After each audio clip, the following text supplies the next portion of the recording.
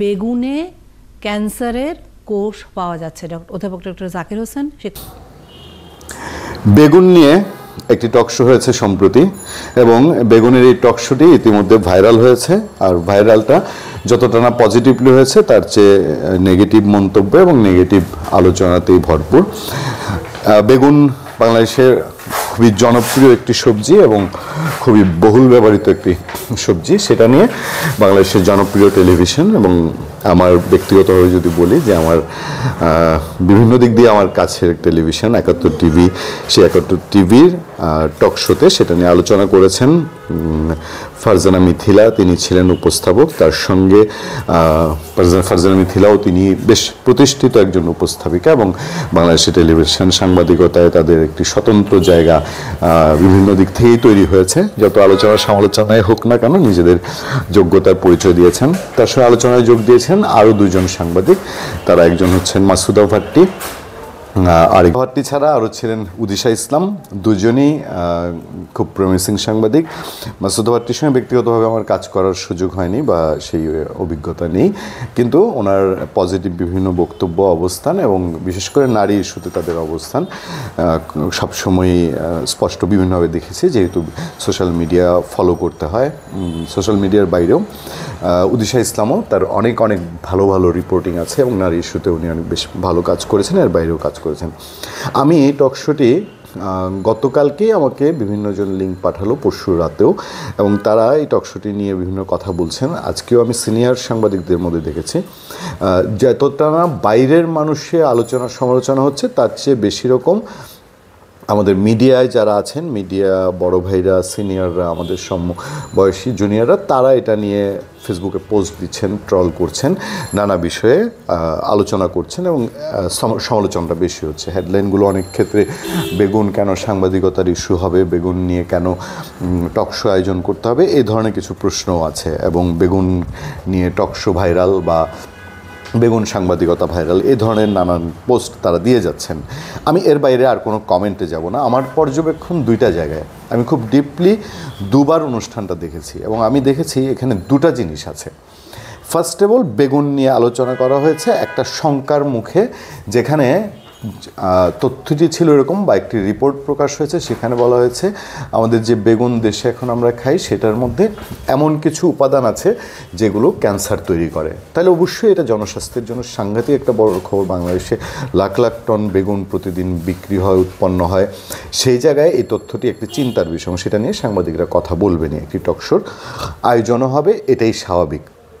আমার নিজের অভিজ্ঞতা দিয়ে বলি বেগুন নিয়ে সাংবাদিকতা, এই অর্থে যদি আপনারা বলেন, তাহলে আমিও করেছি। কিন্তু আমি একটু ভিন্নভাবে বলতে চাই। একবার আমার উপরে দায়িত্ব পড়ল জিএম ফুড নিয়ে মানে জেনেটিক্যালি মডিফাইড খাবার। সেটাকে নিয়ে কাজ করার। এটা আমাদের শরীরের জন্য কতটা ভালো, কতটা খারাপ। এটার জন্য আমার মনে আছে, আমি প্রায় দীর্ঘ আট দশ দিন ক্যামেরা নিয়ে ছোটোছুটি করে অনেক বেসরকারি অর্গানাইজেশন পেয়েছিলাম। আমরা ঢাকার মধ্যেই বেশ কিছু বেসরকারি অনুষ্ঠান পেয়েছিলাম যারা জিএম ফুড নিয়ে কাজ করেন। এবং সেই সময়েই একটি বিতর্ক ছিল যে জেনেটিক্যালি মডিফাইড ফুড এটা শরীরের জন্য কতটা ভালো, কতটা খারাপ। এবং জেনেটিক্যালি মডিফাইড ফুডের বিরুদ্ধে সারা পৃথিবীতেই একটা শক্ত অবস্থান রয়েছে। একটা বড় গোষ্ঠী, যারা ভেজিটেরিয়ান যারা প্রাকৃতিক ফুড খাবার পছন্দ করেন তারা এই জেনেটিক্যালি ফুডের বিরুদ্ধে তারা বলছেন যে, খাবারের ভেতরকার এই ভেতরগত যদি কোনো পরিবর্তন আনা হয়, সেটা আলু হতে পারে, বেগুন হতে পারে, করলা হতে পারে, বা নানান কিছু হতে পারে, তাহলে সেটা মানব দেহের সঙ্গে, মানব দেহের ডিএনএর সঙ্গে কন্ট্রাডিক্ট করতে পারে। এরকম একটি বিতর্ক ছিল। সো দ্যাট আজকে কেউ যদি গবেষণা করে থাকেন যে বেগুনের ব্যবহার বা বেগুনের খাবার হিসাবে বেগুন গ্রহণের মধ্যে একটা ঝুঁকি কেউ পাচ্ছেন, সেটা অবশ্যই আলোচ্য বিষয়, সেটা অবশ্যই টকশোর বিষয়। একটা জায়গায় শুধুখানি আমাদের মনে হয়েছে যে যে ডক্টর জাকির হোসেন সাহেব, উনি খুব অপ্রস্তুত হয়েছেন এবং উনি খুব কোণঠাসা হয়ে পড়েছিলেন এবং উনি নার্ভাস হয়ে পড়েছিলেন এবং উনি এই ধরনের টকশোতে অভ্যস্ত না। এখানে যদি এই জেনেটিক্যালি মডিফাই ফুড নিয়ে জিএম ফুড নিয়ে বা খাবার নিয়ে আরও কাজ করেন ফুড সিকিউরিটি নিয়ে ফুড সিকিউরিটি বলতে খাদ্য নিরাপত্তা না, খাদ্যের যেই উপাদানগত নিরাপত্তা আমাদের শরীরের জন্য ইভেন মেডিকেল সায়েন্সে যারা গবেষণা করেন ওনাদের সাথে, আমাদের মাসুদা ভাট্টি হোক উদিশা ইসলাম হোক, আর আমাদের উপস্থাপিকার সাথে এরকম যদি আর এক দুজন যোগ দিতেন, তাহলে হয়তো বিষয়টি আরও বেশি সুরাহা হতো যখন এসে মাসুদা ভাট্টি প্রশ্নটি করলেন যে আপনি বেগুন নিয়ে কাজ করেছেন ঝিঙ্গা নিয়ে কেন করলেন না? প্রশ্ন জাগলো আপনারা বেগুন ক্ষেত থেকে বেগুন নিলেন পাশে ঝিঙা ক্ষেত আছে ঝিঙা নেন নাই কেন? এ সময়ে একটুখানি একটা মানুষ কিন্তু বিব্রত হতেই পারে। আসলে স্পেসিফিকলি গবেষণা করা একটা মানুষ কোথায় কী নিয়ে গবেষণা করবে এটা তার একান্ত স্বাধীনতার বিষয়।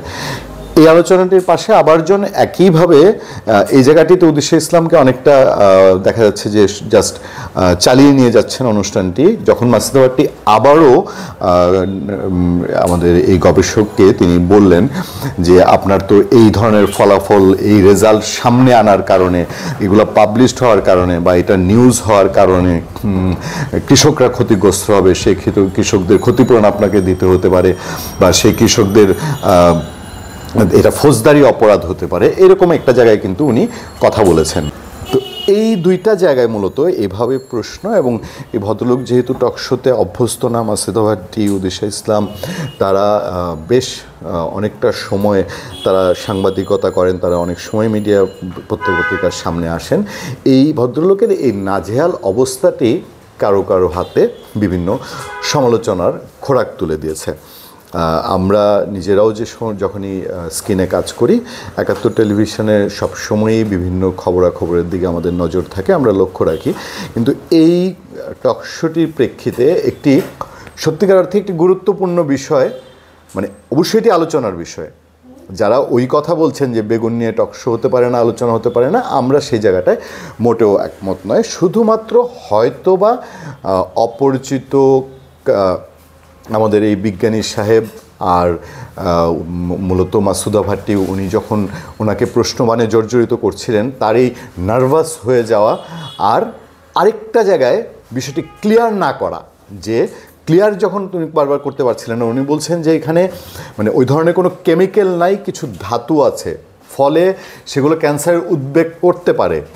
আবার বারবার যখন স্পেসিফিকলি জিজ্ঞেস করা হচ্ছে সেটাকে ক্যান্সারের কারণ হবে কি না বেগুন, সেই বেগুন খেলে? এই জায়গাটায় তিনি আবার পিছিয়ে আসছেন। তার পাবলিকেশন নিয়েও কিছু প্রশ্ন হয়েছে, তাই আমরা আশা করব এই, এখন যে ধরনের সোশ্যাল মিডিয়া ট্রল হচ্ছে, আমরা এই ধরনের, আমাদেরকে অনেকে বলছে যে আপনি কমেন্টগুলো অন্তত উপস্থাপন করেন কমেন্টগুলো পড়েন, বা যেসব পোস্ট অনেকে দিচ্ছে এই রিলেটেড সেগুলো আপনি একটু উল্লেখ করেন। আমরা আসলে ওই দিকে যেতে চাই না। ওইটা আমিও সাংবাদিক, ওখানে যারা ছিলেন তিনজন, তারাও সাংবাদিক।